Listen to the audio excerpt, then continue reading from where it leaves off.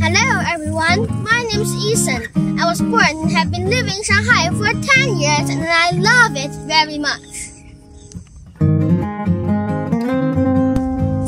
As a new landmark in Shanghai, Huangpu Riverside Bike Trail, which was built in 2017, is over 22 kilometers long. It passes through Lujiazui, Nanpu Bridge, Lupu Bridge, and several parks. Always go there with my parents, and I'm deeply attracted by the beautiful view along the trail, especially the charming sunset in the evening. There are so many activities I can do there, but what I like the most is cycling. Going cycling is healthy and environment friendly. I sometimes have a bicycle race with my dad. Meanwhile, I feel comfortable when the gentle breeze blows me.